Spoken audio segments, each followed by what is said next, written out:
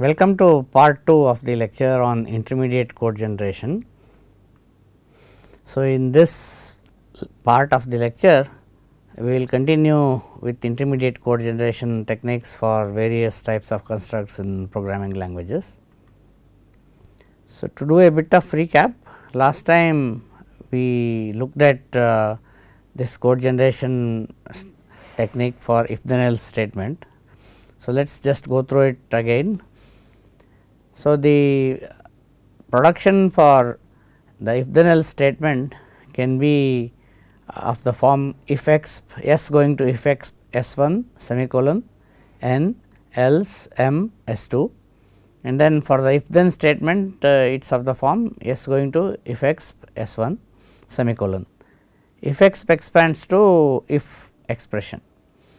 The reason for uh, doing this I already mentioned during semantic analysis phase and also during the last lecture.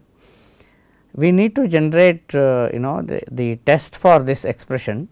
So, since this is an S attributed grammar and is used with LR parsing, we want to perform an action at the end of uh, this particular handle just before the reduction by this handle happens.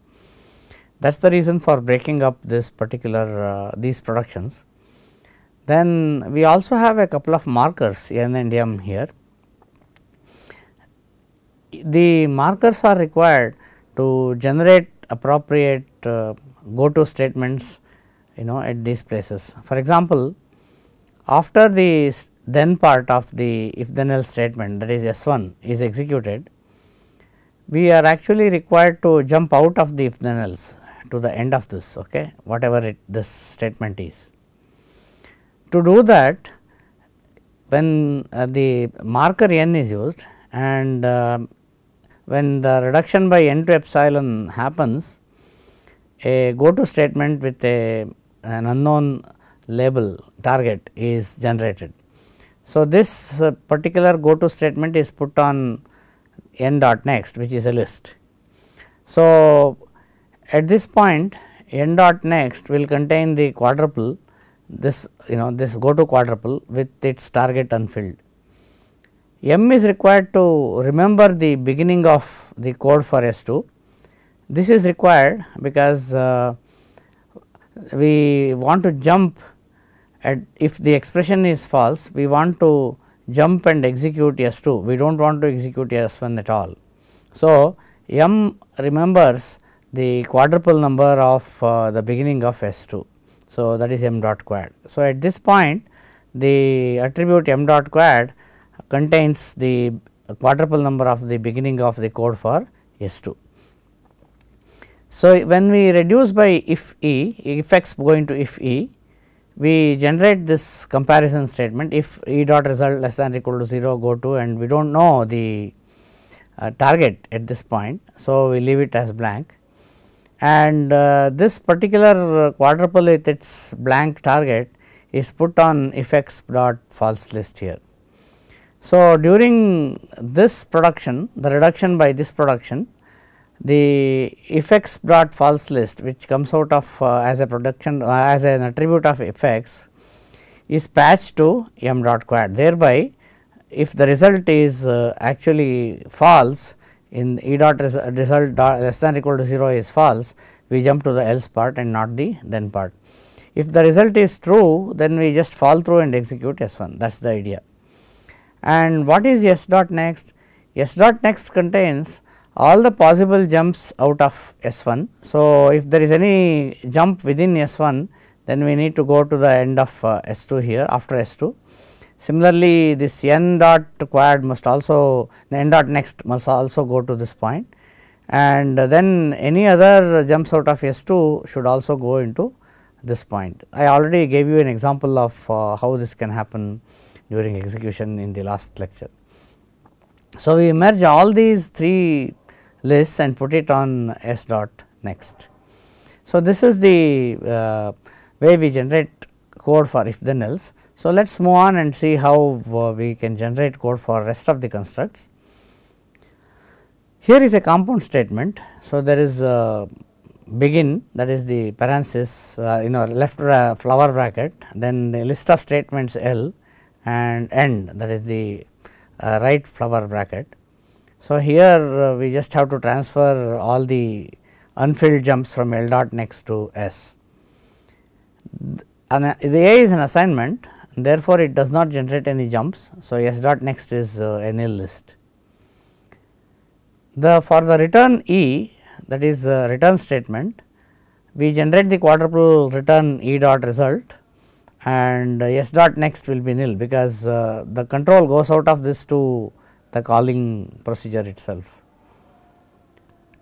L going to L 1 semicolon M s is the production which produces a list of statements. So, obviously, we need the marker M to remember the beginning of S. So, all the jumps out of L 1 are patched to M dot quad which is nothing but the beginning of uh, S and uh, whatever uh, jumps remain within S or rather out of S will be put on L dot next and the terminating production L to X simply copies S dot next into L dot next. When the procedure body ends, you know there will still be some more uh, uh, you know jumps which are left out. So, we perform back patch S dot next comma next quad and followed by generation of the statement function end function end typically is uh, returning from the procedure.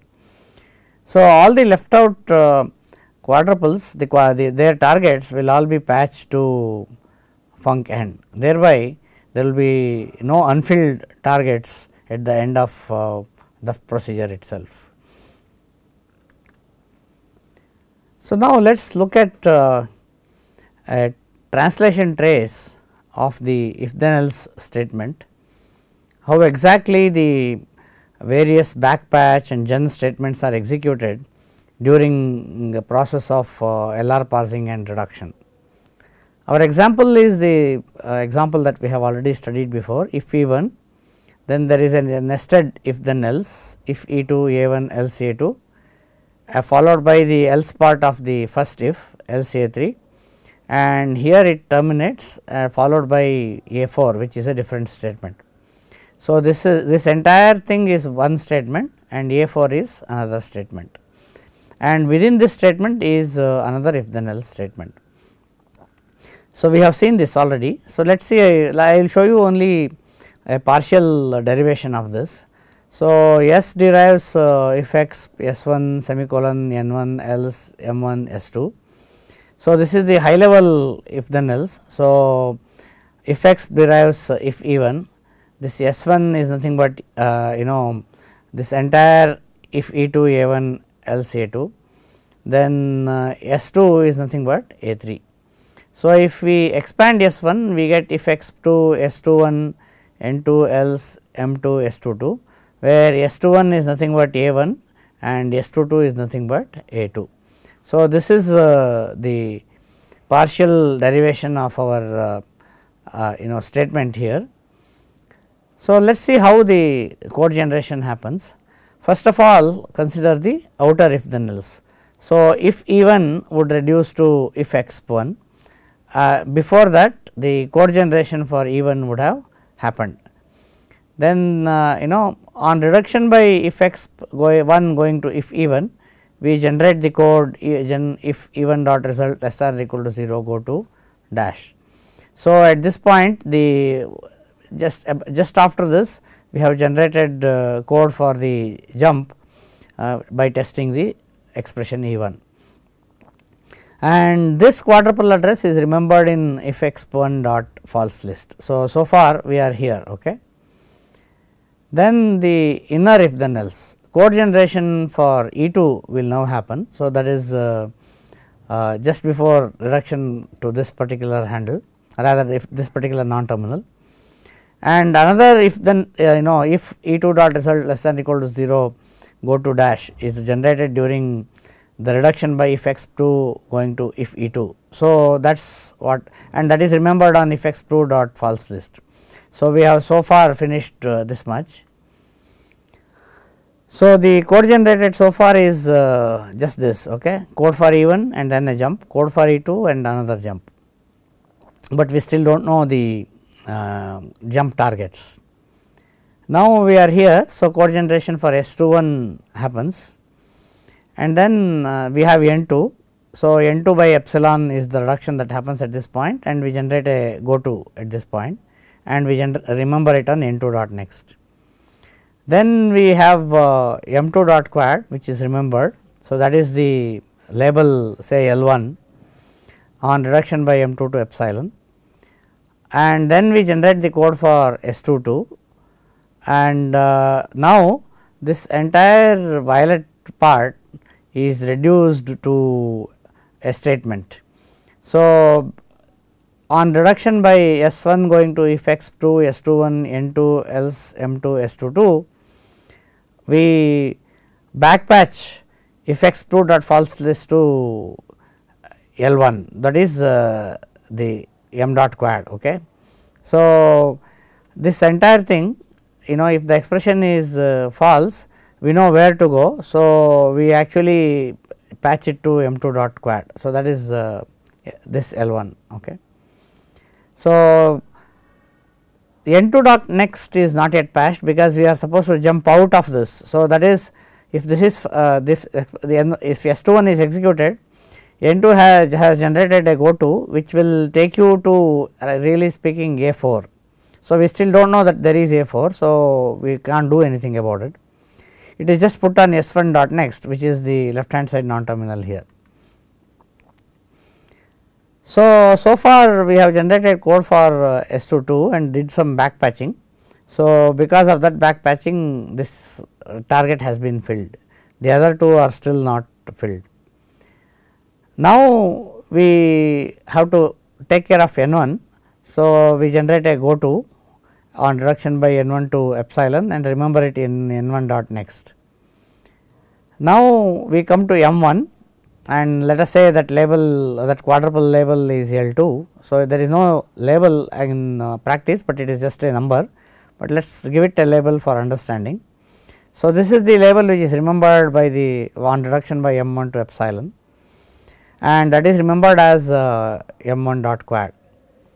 Now, we generate code for S 2 and finally, this entire thing you know is reduced to S.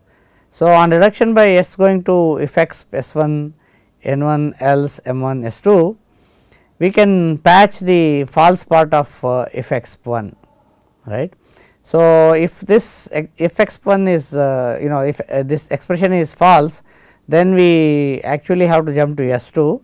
So, that is remembered by m 1 dot quad. So, that we can do at this point and uh, n 1 dot next is still unfilled it is merged with s 1 dot next and uh, both are put on s dot next. So, at this point s dot next contains uh, jumps out of uh, many points for example, it contains jumps due to n 2 right and then it will contain jumps due to n 1 and we still have not seen a 4. So, we really can't do anything right now. So far we have generated up to this code, code for S 2. So, what that means is the code for A 4. So, to do that let us look at the production which handles a list of statements. So, L going to L 1 semicolon M 3 S 4 so, at this point uh, this L 1 is our statement actually. So, that is S 3 right this statement. Uh, so, S 3 semicolon M 3 S 4. So, S 3 is our uh, complete nested if then else and S 4 is uh, A 4. So, M 3 is uh, actually M 3 dot quad remembers uh, the beginning of S 4. So, that is M L 3 and then the code generation for S 4 happens now, we reduce using this entire production L, L going to L 1 M 3 S 4 and uh, we backpatch all the jumps out of L 1. So, that is uh, whatever comes out now this uh, this go to and uh, this go to both are actually patched to A 4 which is nothing but S 4. So, now L dot next is empty and we because A 4 does not generate any um, jumps and uh, the process of code generation is over. So, here is the final code that is generated. Okay. So, this is the trace of uh, actions that happen during the code generation process including backpatch and uh, gen. So, let us move on let us find out uh, how to generate code for while loops. So, we need to break up the while statement into the production for the while statement into loop parts for the same reason as the if then else. So, we have uh, while x going to while e while m e. So, m is a marker again which uh, denotes which remembers the beginning of this expression. Why do we need this? At the end of the loop we actually have to jump to the beginning of uh, the code for e. So, that e is evaluated again and then that it is tested.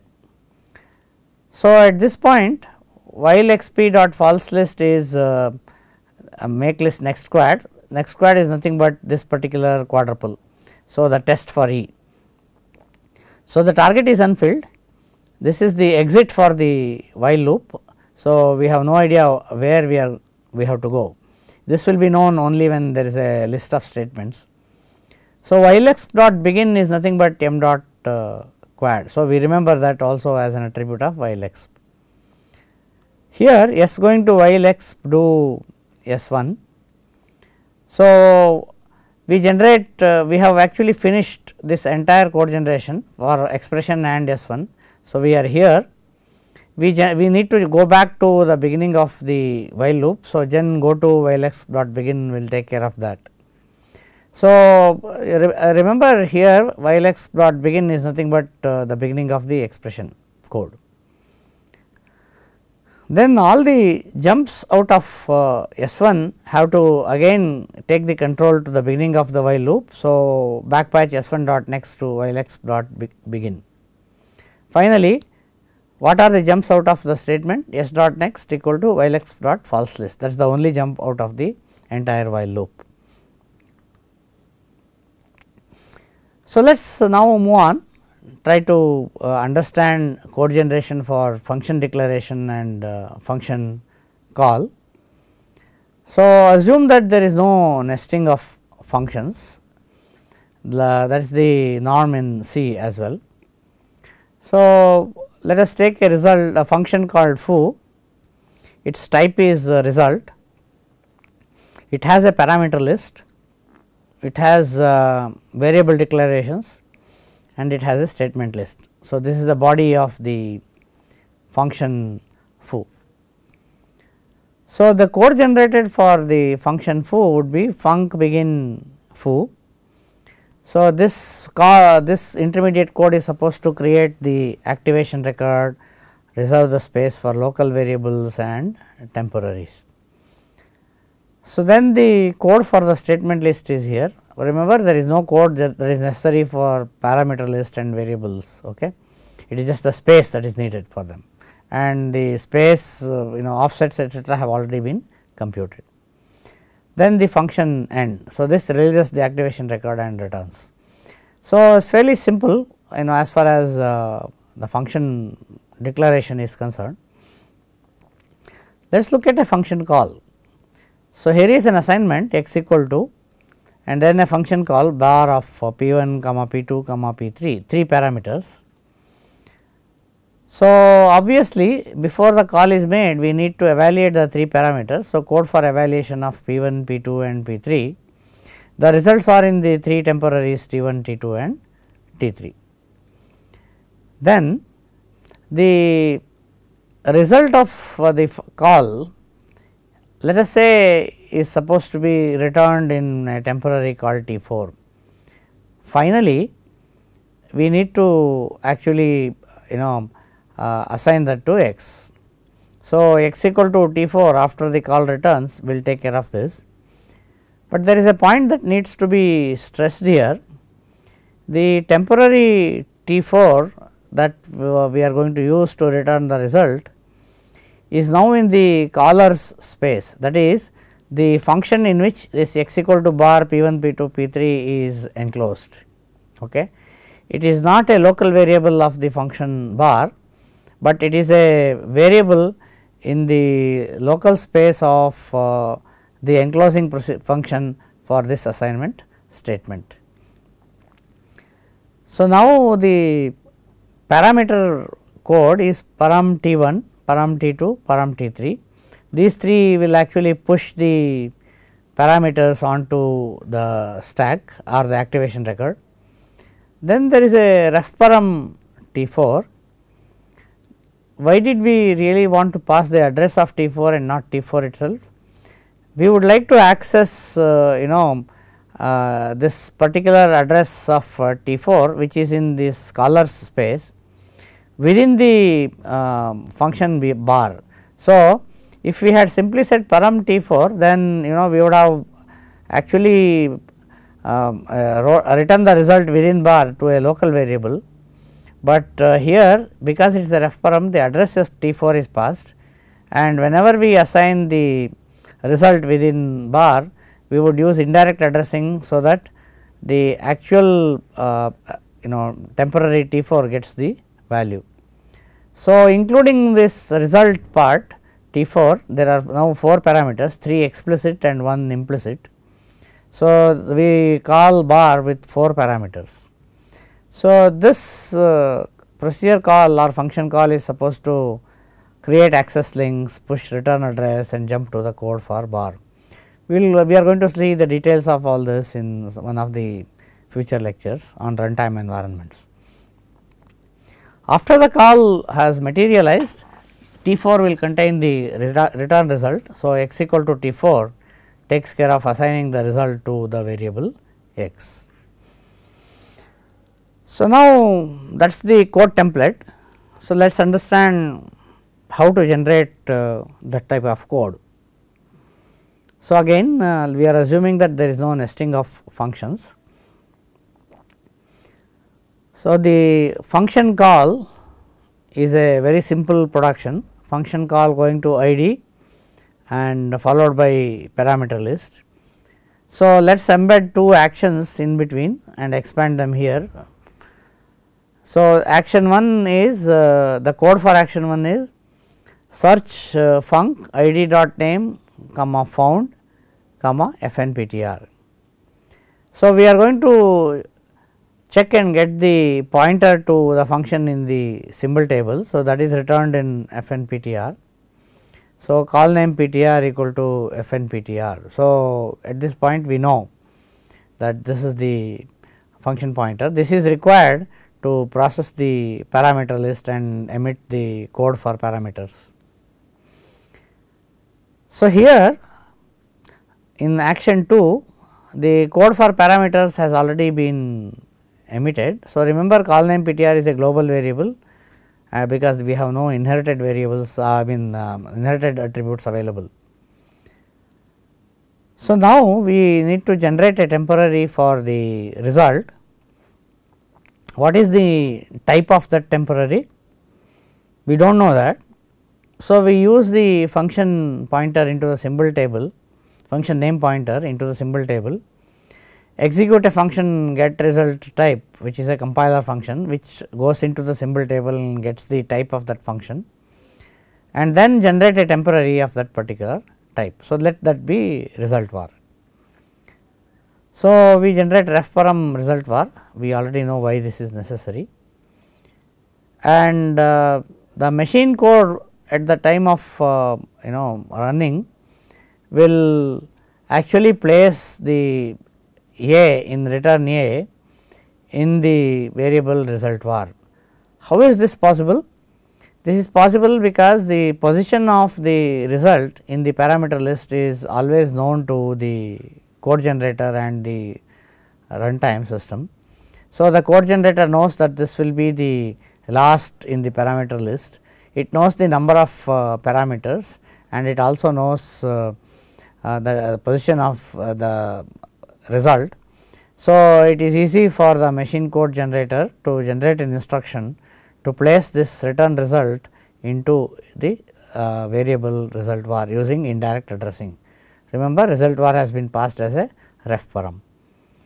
Now, the call itself call name pointer is the name uh, pointer to the function uh, the in the symbol table and how many parameters param list dot pno is the number of parameters plus 1 corresponds to the result which is an implicit parameter. So, this is the call for the function. Now, how do we compute the number of parameters that is fairly easy. Param list going to p list you know just transfers the p list dot pnmo to param list dot pnmo. We need this kind of a unique production because uh, we want to make sure that uh, uh, we permit 0 number of parameters as well. Okay. So, param list going to epsilon makes sure that 0 number of parameters is permitted so, param list dot PNO is 0 and p list generates uh, one or more parameters p list going to E or p list going to p list comma E. If it is p list going to E this is the first parameter. So, we set the number to 1 and uh, the first gen uh, first param E result is generated. For the rest of it as and when the uh, expressions uh, when the, uh, are parsed we generate uh, p list 1 rather we generate uh, gen param e dot result and the number of parameters is counted and incremented. So, p list 2 dot pno plus 1 is assigned to p list 1 dot pno. So, this is how p list accumulates the number of parameters and passes it on to param list and that is used in this production to generate the appropriate uh, call with the number of parameters. So, what about declaration? Fairly easy. Function declaration is uh, function head followed by where declaration body. So, at this point we generate gen, uh, gen func end. So, because we have parsed this entire uh, uh right hand side. And what about uh, body dot next? So, as I already showed you body dot next uh, corresponds to all the jumps out of the loops etcetera within this body and uh, the last last part of the body and that is passed to the function end. So, that there are no more hanging uh, go tos. Function head goes to result id followed by declaration p list. So, now we search for id dot name find it in the symbol table and its pointer is name ptr and active func PTR would be. So, this is the function name. So, that would be name PTR. We are now looking at the body of the function. So, the pointer is active func PTR. Now, generate uh, func begin active func PTR. So, uh, the code generation for uh, function declarations is uh, quite straightforward. Let us uh, now understand how to generate uh, code for various types of assignment statements. So, before that we must understand the representation for multi-dimensional arrays, because we will use multi-dimensional arrays in assignments and other expressions. So, if there is a 3 dimensional array, we can look at it in uh, 3 dimensions as slices. So, these are the various slices and each slice consists of uh, squares right. So, each square is an element. So, this is the 2D array and this is the three di third dimension of the array. So, this is the i part, this is the j part and this is the k part. So, when we represent a 3 dimensional array in memory, obviously memories are single dimensional. So, we must map the 3D array to a 1D representation. How is that done?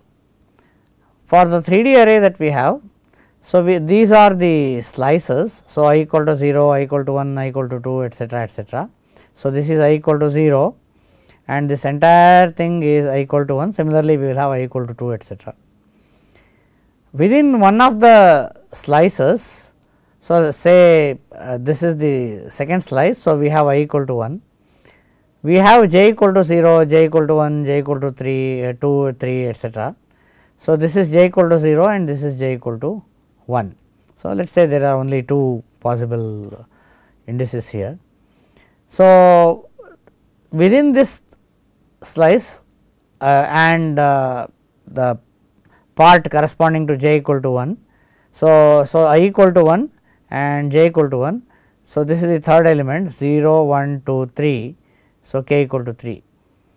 So, whenever we say a of uh, 1, 1, 3, we must map it to this element in the entire single dimensional array representation right. So, that offset is computed as i star n 2, n 2 is the size of the second dimension number of elements in the second dimension. So, this is the slice number then uh, n 2 corresponds to this uh, uh, you know 2 D array size okay. each one of the elements of the slice contains as many elements in this as in this 2 D array. So, that is why I, I begins with a 0 here we are considering C like representation C like programming language. So, I starts with a 0 that is why it is I star n 2. So, if we have i equal to 0 then this becomes 0 obviously with i equal to 1 we need to skip this i equal to 0 so, that is why when i equal to 1 we need to skip n 2 elements. So, we have skipped here and come to this point skip this entire slice and come up to this point for i equal to 1. Then we add j to it. So, let us say we are looking at this element. So, uh, so we have we now want i equal to 1 j equal to 1 k equal to 3. So, we add j to it. So, that is plus 1 and then multiply the whole thing by n 3 that is because we need to skip so many elements you know uh, within the j. So, j is uh, 0 here j equal to 1 here. So, we need to skip this entire j equal to 0 and come to this part of uh, the slice rather the 2 D array. So, that uh, that is done by star n 3. So, star n 3 says you know this is uh, uh, j. So, this is the row number so, how many elements are there in each row that is n 3. Now, plus k means the number of elements that we have skipped here. So, 0, 1, 2 and then k equal to 3. So, we come to this point by adding k. All this has to be multiplied by the number of bytes that uh, each element of the array. So, that is uh, this element takes. So, that is why we multiply it by the element size. So, that bring that will bring us to the beginning of uh, this element and then we can do what we want with it. So, let us see the uh, code generation uh, template for this. Consider a declaration a 10, 20, 35 uh, and then another simple variable b. A is an array, b is a simple variable.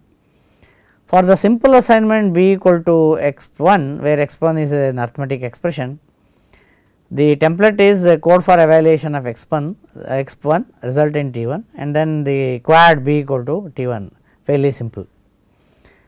But uh, suppose the assignment statement is complicated a of x 2 x 3 x 4. So, this is the element of a to which we want to assign x 5 so, I have uh, mentioned the offset part again here, so that uh, we can understand how the code is computed or rather code is generated. So, x, x 2 is evaluated first result in T 2, x 3 is evaluated next result in T 3. So, now we do T 2 star 20 which is nothing but the n 2 part okay, second dimension 20. Then we add the j that is x 3. Now, we generate code for x 4. Then uh, you know this T 5 is multiplied by n 3 that is 35. We add the k part that is T 6 here x 3 or rather x 4. Now, the each element is an int here so, element size is int size. So, T 8 into int size is T 9. Now, T, T 10 we get address A, we generate uh, code for x 5 in T 11 and now finally, we can say T 10 T 9 is uh, T 11. So, T 10 is the base address of the array, T 9 is the offset that we have computed byte level and T 11 is the expression on the right hand side. So, this is the type of code that gets uh, generated for uh, arrays. So, let us see the S attributed grammar for assignments and expressions uh, and understand how the code gets generated during LR parsing. This is SATG again. So, we have the assignment statement S going to L equal to E. Now, L is the left hand side, it could be an array element, it could be a simple variable. So, if it is a an array element then we need the base address and the offset and if it is a simple variable we just need the address of that variable. So, L requires two attributes one is L dot place pointing to the name of the variable or the temporary in the symbol table. So, this could be the array uh, base address or array name or the simple variable name and L dot offset is the offset in the case of an array. Okay. So, if it is a simple variable then it is null. So, we check whether the variable is uh, simple or uh, array. So, if L dot offset equal to null then it is a simple variable. So, we simply generate uh, L dot place equal to E dot result. So, this is the assignment which is uh, generated. So, I already uh, showed you that here you know. So, this is simple right this is a simple variable. So, B will have only L will have only the address of B and nothing else. So, if it is an array variable then we need to generate L dot place brackets L dot offset equal to E dot result. So, this is the indexed instruction that needs to be generated. So, this is what we generated here you know this particular instruction. Then parenthesized expression is there is only a, a, transfer of the attribute and uh, E going to L. So, this E is on the right side. So, remember that uh, this can also be either a simple variable or uh, an array expression. Again we need to distinguish between these two. So, if L dot offset is uh, null then E dot result is L dot place. So, simple straightforward. If it is not null then the right hand side is an array expression. So, the point is a single quadruple cannot have array expression on the left hand side and array expression on the right hand side. High level language statements can. So, I can write uh, A of b equal to C of d in the high level language statement, but in the quadruple level there can be an array access or index instruction only on the left side or on the right side one at a time. So, we know that it is an array and we know that this is the right hand side.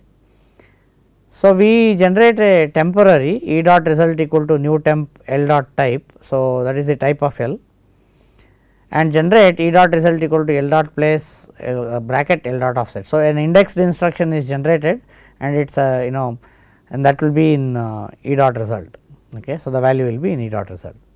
So, this is how we take care of uh, assignments uh, from an array and here we take care of assignments into an array. What remains is uh, computation of the uh, mapping from 3D array to or 4D array to single dimensional array, we will see that very soon. If E is a number, we just generate E dot result equal to num dot value. So, E dot result is a temporary of the type num dot type. Addition.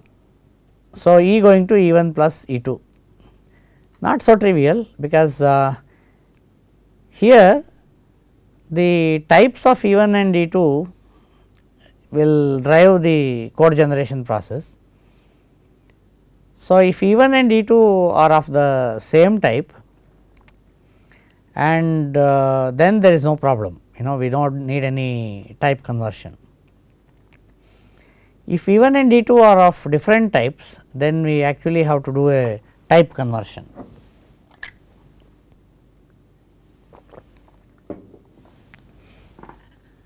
So, for example, result type is compatible type E1 dot type comma E 2 dot type. So, If E1 dot type uh, is real and E2 dot type is also real absolutely no problem then result type will be real. Similarly, if both are integers this will be integer. If one is integer and other one is uh, real then result type will always be real. So, this is how compatible type uh, checks all this we have seen this during semantic analysis. So, we require this to generate the temporary for E dot result new temp result type. Now, generating code for uh, type conversion is done here. So, if E1 dot type is uh, result type then there is no type conversion necessary operand 1 equal to E dot result. So, we just transfer the address and if E1 dot type is integer and result dot type is real. So, that means we must generate code for type conversion. So, we generate a temporary operand 1 equal to new temp real and generate an instruction operand 1 equal to convert float E1 dot result. So, remember E1 dot result is uh, integer type. So, we are converting it into real type and assigning it into the temporary operand 1. So, this is the instruction that is generated for the type conversion. Exactly the same thing happens for E2 as well. So, if there is no type conversion operand 2 retains the address of E2 dot result. If there is a need for type conversion then we generate a temporary and gen, you know generate the instruction operand 2 equal to convert float E2 dot result. So, now at the end of this exercise operand 1 holds the address of uh, the first operand, operand 2 holds the address of the second operand with or without uh, type conversion. And now we are ready to generate uh, the plus operation E dot result equal to operand 1 plus operand 2. So, this is the instruction for E1 plus E2. If there was uh, no problem and all types were uh, just integer then we the, all this checking was not necessary type conversion was not necessary. We would have generated a simple instruction E dot result equal to E1 dot result plus E2 dot result. So, that is not uh, possible anymore because of uh, many types which are permitted in expressions. Exactly the same thing happens for the logical operation OR. E dot result we generate a new temporary and we generate E dot result equal to E1 dot result or E2 dot result. I am skipping some of the details like uh, type conversion here because even here character or integer both are permitted in C. So, some simple type conversion may be necessary even for this and it is on the same lines as uh, the E1 plus E2. So, I will skip that and leave it for exercises. E going to E1 less than E2. So, there is a relational operation here. So, E1 less than E2 will, uh, will actually uh, generate either a 1 or a 0 depending on the conclusion. So, if E1 is definitely less than E2 then the result is true. So, we generate a 1. If E1 is not less than E2 then we generate a 0 and that value is put in E dot result. So, E dot result gets uh, an integer uh, temporary, the address is stored in E dot result. First we initialize it to 1. So, generate instruction E dot result equal to 1. Then we generate the comparison instruction if E1 dot result less than E2 dot result go to next quad plus 2. So, that is the result is true. Okay. So, this is uh, next quad. Okay. So, the this if E were on dot result less than E, dot, E 2 dot result is uh, actually next quad. So, this is the number next quad uh, in the quadruple array. This is next quad plus 1 and uh, after this that is after the expression E is next quad plus 2. So, that is where we need to jump and continue from that point onwards. So, if this is true then we do not reset the result to 0, we keep it as 1 and then go further. If the result is false then we make the result 0 and then continue with the operation. So, that is how it would be.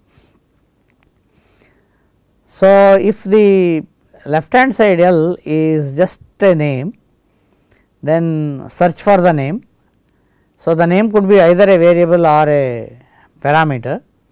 So, we search the symbol table and get its uh, pointer. So, L dot place becomes V n and L dot offset becomes null because this is a simple variable. Now, we come to the important part of uh, expressions array expressions. So, again we have broken the productions into parts as in the case of uh, semantic analysis. So, E list going to ID bracket E. So, this is the first expression search for the expression find its pointer. Now, the dimension number is 1 because this is the first expression. The elist dot array pointer is uh, V n. So, that is the pointer to the name of the array in the symbol table. So, that is the entry and elist dot result will be E dot result. So, that is the first uh, subscript of the array expression. The rest of the subscripts are generated by this production and finally, the uh, expression is closed using this production. So, let us look at this first the E list has generated all the expressions and uh, so ID bracket E is also a E list. So, first expression is generated then the second, third etcetera are all generated here Finally, the bracket closes the subscript uh, expression list. So, once all the subscripts are generated, L dot place is still E list dot array pointer. So, that is the base address part of uh, L. Then temp equal to new temp int. So, we generate a new temporary and offset will be actually nothing but that new temporary. We are going to generate instructions to collect the offset into the temporary. Size of the element is uh, obtained through the symbol table pointer. So, elist dot array pointer point to elis, size. So, this will give us the element size from the symbol table. Now, we generate the instruction temp equal to elist dot result. So, that is the accumulation of all the parameter you know uh, subscripts here star LE size. So, we have done the nested evaluation finally what remains is to multiply by the size of the element like int or float. So, that is done here after E list dot uh, result accumulates the entire expression value. So, so now at the end of this we L dot place and L dot offset will contain the appropriate uh, pointers into the symbol table and uh, the code for evaluation of the entire subscript uh, list has been generated. So, here is the subscript uh, list generated. So, this is uh, the um, uh, first part of the subscript list and this is the next last one. So, if there are 3 subscripts first one is generated here then you know uh, e list 1 comma e. So, this is uh, the second one and then the third one and so on and so forth. Using this we can generate as many as we really want. Okay. So, if we if we do this three uh, two times we generate e list 1 uh, comma e and e list 1 comma e again. So, and uh, finally, e list going to id expression generates the first one. So, this is the first one and then the second one and third one can be generated using these productions again and again. Number of dimensions elist dot dim is uh, this plus 1. So, this is the next dimension. So, that we did array pointer is just transferred uh, uh, you know from here. So, we found it we got that here right. So, we are going to transfer it to elist dot array pointer number of elements we look at the symbol table using the array pointer and then the number of dimensions or number of elements in this dimension for this subscript will be E list 1 dot dim plus 1 right. So, this is the dimension number of this. So, we search the symbol table and get the number of elements corresponding to that particular dimension that is this E. Now, generate uh, temporaries to do partial evaluation temp 1 and temp 2 both are in type because subscripts are always integer expressions. Temp 1 multiplies. So, E list 1 dot result star num elem. So, the number of elements in this dimension is multiplied with uh, E list 1 dot result. So, that is uh, i star n 2 plus j whole thing star n 3. So, that is the uh, you know uh, nested evaluation that we are doing here. Then we add temp 2 equal uh, generate temp 2 equal to temp 1 plus E dot result. So, this is this does uh, i star n 2 then plus j that is what we are doing. So, if we repeat this using the same production again and again we can generate the instructions for uh, the entire subscript list. So, now we uh, we have completed uh, code generation for expressions assuming that uh, there is nothing uh, called short circuit evaluation. So, let us understand what exactly is uh, short circuit evaluation for Boolean expressions. So, expression 1 and expression 2 suppose uh, we want to evaluate this the straightforward method would be evaluate expression 1 completely then evaluate expression 2 completely and generate uh, an AND instruction for the 2. So, that is what we did here right. So, instead of this OR we can have AND here. So, you would generate E1 dot result and E2 dot result. But there is another way of generating the result. So, its value is if expression 1 is false then the entire expression is false that is true because uh, if uh, this is AND operation. So, if this is false then the entire expression is false. So, if the expression 1 is true then you know we must evaluate expression 2 otherwise we will not know how exactly uh, what exactly the value would be. So, the value would be x 2 itself whether it is true or false whatever that is. So, this implies that x 2 need not be evaluated if expression 1 is false. So, in other words we are short circuiting expression 2 that is why this is called short circuit evaluation. The same thing holds for OR as well in but uh, it is exactly the converse. In the case of AND if this was false the expression would have been false. In the case of OR if this is true x 1 is true the entire expression is true.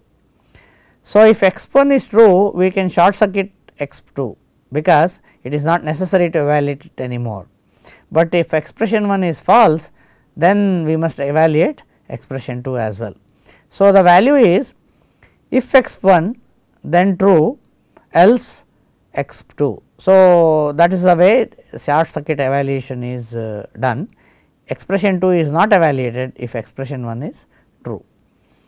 So, Boolean expressions are uh, commonly used in conditional loop statements and uh, if we use short circuit evaluation it is possible to realize uh, this short circuit evaluation of expressions using control flow constructs. I will show you how that can be done.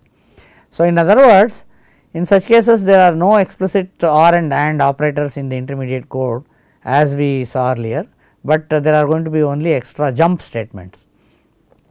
This is much faster because complete expression is not evaluated at all and uh, if unevaluated uh, expressions have side effects. For example, if expression 2 has a function which uh, alters a global variable or prints out something into a file etc., then it will never be done if expression 1 is true because we are going to short circuit expression 2. So, in such cases the program may have non-deterministic behavior because the one, once uh, first time possibly expression is true and this entire thing is uh, skipped but next time possibly expression 1 is false. So, expression 2 will also be evaluated and at that time the printing will happen. So, the person who is running the program will see that uh, printing happens sometime and printing does not happen some other time. So, this is non-deterministic behavior. Let me show you uh, a template or rather an example of how it can be done and then uh, we will see how to generate code. So, the uh, expression is if a plus b less than c plus d or this entire thing okay, then a 1 else a 2 followed by the uh, statement A 3 irrespective of what happens here. So, we evaluate uh, A plus B and C plus D. If T 1 is uh, less than T 2, so we are evaluating this now, go to L 1. So, if this is true then the entire thing can be skipped. So, and where is L 1? L 1 is code for A 1. So, this is short circuit we have short circuited this entire expression. So, that is uh, taken care of by go to L 1. Otherwise, we go to L 2, L 2 now evaluates the second expression. Second expression has AND here. So, if E equal to F go to L 3, so that then we must evaluate uh, this expression. If E equal to F is false, then you know we do not have to evaluate this entire expression at all. So, that means we go to L 4 which is code for A 2. So, that is the else part of it. Okay. So, inside this we again check g greater than h minus k go to L 5 or uh, go to L 6. So, that is the code for A 2 finally, code for A 3 will be executed in all the cases.